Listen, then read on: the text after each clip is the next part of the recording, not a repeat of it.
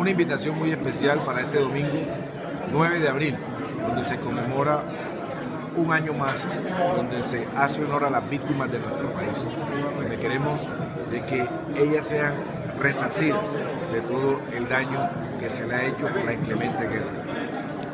Invitamos a todos los colombianos a que ese día estemos solidarios con todas las víctimas de nuestra República de Colombia.